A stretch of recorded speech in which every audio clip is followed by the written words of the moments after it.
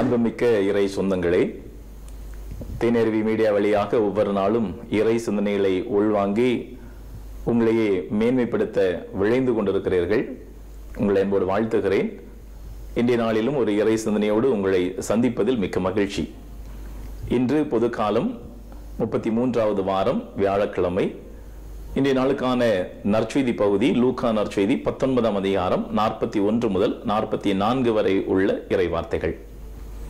இன்றைய நற்செய்தி வாசகத்தில் எருசலேமினுடைய அழிவை குறித்து ஆண்டவர் அழுதார் என்று சொல்லப்பட்டிருக்கிறது. நற்செய்தியினுடைய அடிப்படையில் பார்க்கின்ற போது இரண்டு இடங்களில் ஆண்டவர் அழுதார் என்று நாம் பார்க்கின்றோம். ஒன்று லாசருடைய மரணத்தின் போது அவருடைய சகோதரிகள் அந்த செய்தியை ஆண்டவரிடத்தில் சொல்லி அழுதபோது ஆண்டவர் இயேசு அழுதார் என்று சொல்லப்பட்டிருக்கிறது. அதே போல எருசிலமை குறித்தும் ஆண்டவர் அழுதார் என்று நாம் இந்த நற்செய்தி வாசகத்தில் வாசிக்கின்றோம். எருசலேமை குறித்து ஆண்டவர் இயேசு ஏன் அழ வேண்டும்?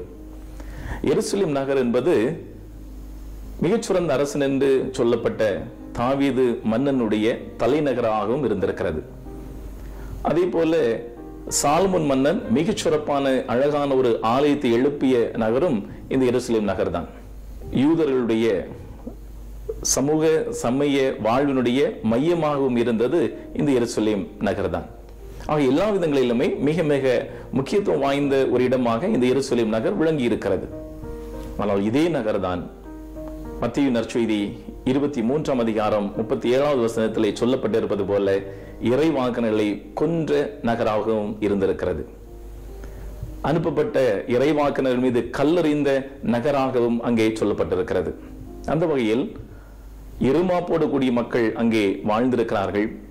கடின உள்ளத்தினராக அவர்கள் இருந்ததை வைத்து அந்த நகரானது அழிக்கப்படும் என்று ஆண்டவர் முன்னுரைக்கின்றார். அவர் சொன்னதன் அடிப்படையில் கிபி எழுபதாம் ஆண்டில் தீத்து என்ற ரோமை மன்னன் எருசலேம் நகரை சுற்றி வளைத்து முற்றுகையிட்டு அந்த நகரை தரைமட்டமாக்கினான் ஆலயத்தையும் இல்லாதாக்கினான் இது வரலாறு. இந்த ஒரு நிகழ்விலிருந்து பல சிந்தனைகளை நாம் உள்வாங்க முடியும். ஒரு சிந்தனையாக கடவுள் அவர்களை தேடி வந்த காலத்தை அவர்கள் கண்டுகொள்ளவில்லை என்பது ஆண்டவர் இயேசுடைய குற்றச்சாட்டாகவே இருக்கிறது. ஒரு வகையில் ஒரு உள்ளம் குமுறிய நிலையில் கூட அவர் இதை சொல்லியிருக்க முடியும். கடவுள் அவர்களை தேடி வந்த காலத்தை அவர்கள் புறக்கணித்தார்கள் உதாசீனப்படுத்தினார்கள். இந்த உதாசீனப்படுத்துதல் என்பது இன்று நம்முடைய வாழ்வினுடைய பல மட்டங்களிலே பரவி இருக்கிறது. கடவுளை தேட வேண்டிய மக்கள் நாம் கடவுளோடு இணைந்து பயணிக்க வேண்டிய மக்கள் நாம்.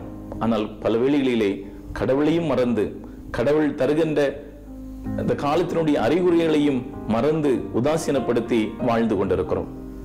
சமீபத்திலே என்னை கவர்ந்த ஒரு வாசகம் ஆபத்து விலகியதும் ஆண்டவன் மறக்கப்படுகிறான் என்பதுதான்.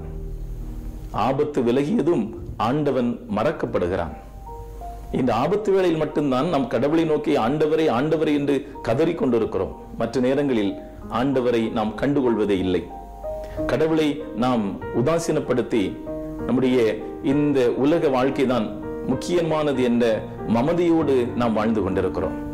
அன்பார்ந்தவர்களே எப்போது நாம் நம்முடைய வாழ்க்கையிலே கடவுளை உதாசீனப்படுத்தி வாழ்கிறோமோ அப்போதே நம்முடைய வாழ்விலே சறுக்கல் ஆரம்பமாகிறது என்பதை நாம் உணர்ந்து கொள்ள வேண்டும்.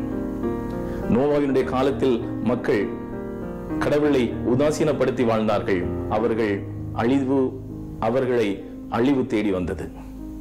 ஆனால் நினைவே நகர மக்கள் தங்களுடைய தவறை ஏற்றுக்கொண்டு தங்களுடைய தவறுகளுக்காக மனம் வருந்தி கடவுளை நோக்கி முறையிட்டார்கள். அவர்கள் வாழ்வை பெற்றுக் கொண்டார்கள் ஆக நாம் எப்போது கடவுளை புறக்கணிக்கிறோமோ அப்போது நம்முடைய வாழ்விலே நாம் சந்திப்பது சறுக்கல்களும் வேதனைகளும் அவமானங்களுமே.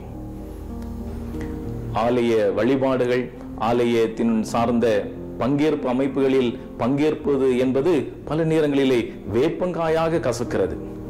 ஆனால் ஆலயத்திற்கு வெளியே நடக்கக்கூடிய பணம் புழங்குகின்ற அமைப்புகளிலே அதிக ஈடுபாடு நாம் காண்பிக்கின்றோம். யாருக்கு நாம் முக்கியத்துவம் கொடுக்கிறோம்? யாரை இங்கே உதாசீனப்படுத்துகிறோம்? நம்முடைய வாழ்வு என்பது கடவுள் கொடுத்திருக்கக்கூடிய கொடை. இந்த கொடையை பெற்றுக்கொண்டிருக்கக்கூடிய நாம் ஒருபோதும் கடவுளை உதாசீனப்படுத்தாது. கடவுள் தந்திருக்கக்கூடிய வாய்ப்புகளை பயன்படுத்தி கடவுளுக்கு நெருக்கமானவர்களாக வாழ வேண்டும் என்பதுதான் கடவுள் நம்மிடத்திலே விரும்புவதும் எதிர்பார்ப்பதும். ஆக ஒரு வகையிலும் கடவுளையும் புறக்கணிக்காது நாம் நமக்கு அருகில் இருக்கக்கூடிய நம்முடைய சகோதர சகோதரிகளையும் உறவுகளையும் புறக்கணிக்காது உதாசீனப்படுத்தாது. கடவுளுக்கு நேரிய வாழ்க்கையை தேர்ந்து கொள்வோம். ஆண்டவர் நம்மை இன்னும் நிறைவாக ஆசிர்வதிப்பார். ஜெபிப்போம். எங்களை காக்கும் பரம்பொருளை இந்த நாளை நீர் எங்களுக்கு கொடுத்ததற்காக உமக்கு நன்றி செலுத்துகின்றோம். உம்மை உதாசீனப்படுத்தாது உமக்கு உகந்த வாழ்க்கை வாழ அருமையான இறை சிந்தனைகளை இன்று எங்களுக்கு கொடுத்திருக்கிறீர். பல நேரங்களிலே உம்மை உதாசீனப்படுத்தி உலக போக்கான காரியங்களுக்கு நாங்கள் முக்கியத்துவம் கொடுத்திருக்கிறோம். இந்த வேளையிலே மனதுருகி உம்மிடத்திலே மன்னிப்பு வேண்டுகிறோம். ஆண்டவர் தொடர்ந்து உம்முடைய அருளையும் ஆசிரியம் எங்களுக்கு நிறைவாக தந்து உமக்கு ஏற்ற பிள்ளைகளாக நாங்கள் வாழ்ந்து உம்மை மாட்சிமைப்படுத்த உம்முடைய வல்லமையை எங்களுக்கு பொழிவீராக. எங்களுடைய வாழ்க்கையிலே எது முக்கியத்துவம் பெற வேண்டும் என்பதை நாங்கள் உணர்ந்து அவற்றிற்கு மட்டுமே முக்கியத்துவம் கொடுத்து உம்முடைய வழியிலே பயணிக்க உம்முடைய அருளை எங்களுக்கு பொழிவிராக. உங்கள் ஆண்டவராகிய கிறிஸ்து வழியாக மன்றாடுகிறோம். ஆமீன்.